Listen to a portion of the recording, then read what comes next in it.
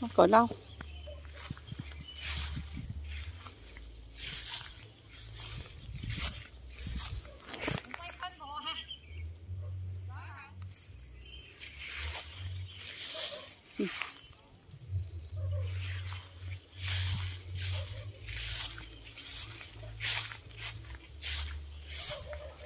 Với đội youtuber này cũng có vẻ lầy lội quá ha.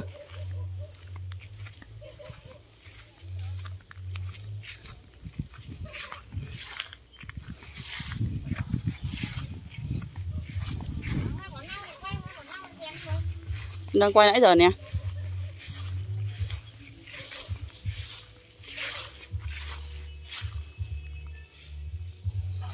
Chị kiếm chỗ nào chị đứng cho mát đi.